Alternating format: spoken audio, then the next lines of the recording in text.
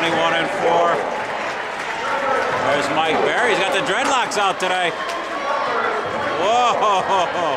Up to new for the championship game. Ross comes out on Purcell. Cipriano got three. Used the left hand. On quickly. Back to Cipriano. That's three. Holy Cross leads at 5-0. Fans on their feet. Student section going crazy. They've been on their feet since about 10 minutes before the game started. Rolling, tough move, gone with good defense. Gets it to O'Hora, back to Cipriano. Double clutch to three and knocked it down. Six for Lewis.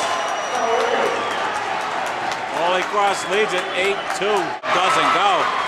But Iski up ahead to O'Hora. Avoids Enot and hung in the air for two.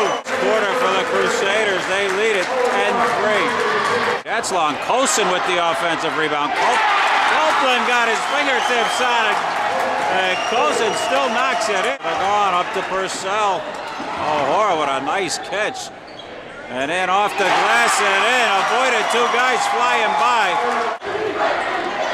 Rowland trying to get position inside. Oakland with the jumper, good from the left wing. The lead is 9, 14-5. Gone gets a wide open Purcell underneath. And it's 16-5. Oakland sets a big screen for Rowland. Rolls to the bucket. Rowland into the lane. Ball back. Eight-footer, tough shot. Jake Rowland. O'Hora quickly into the lane, slides it to Purcell.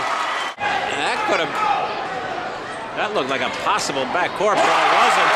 And then Lucep knocks down a three and in the first half. Up ahead to O'Hora. Sip open, oh, he fakes it to him, gets it to Purcell. It's a 15-point lead, 24-9, timeout, Dunmore. Gone, drives it in the lane. A floater oh, and in. Holy shot, no good. Beautiful first half. Holy Cross. They lead it by 17, 27-10.